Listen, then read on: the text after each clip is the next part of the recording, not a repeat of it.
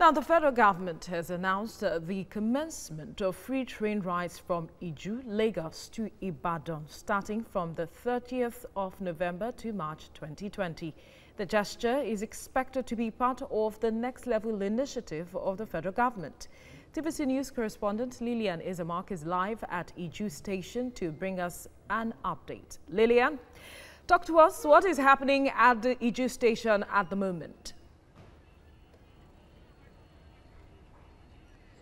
Uh, we are at the point where the federal government asks commuters to gather so that they can have a free train ride from Lagos to Ibadan.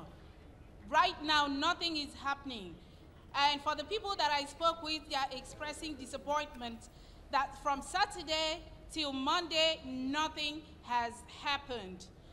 They even told me that they have not even seen trains passing.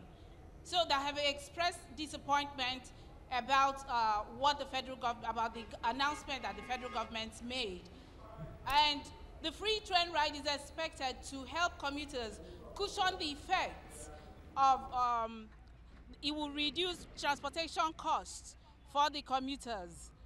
But nothing is happening like I said before. Did you get to speak with any official? Was there any official present to at least give an update on what is going on, why there is no movement of trains on that axis?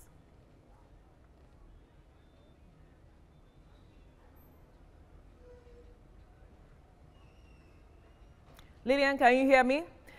Were you able to speak with any official, government official, on why there is no movement of trains or why there is no activity at the point there?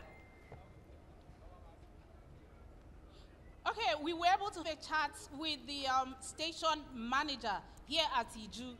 He said there's like there's um, a likelihood that there will be a ride from uh, Lagos to Iju by 4 o'clock.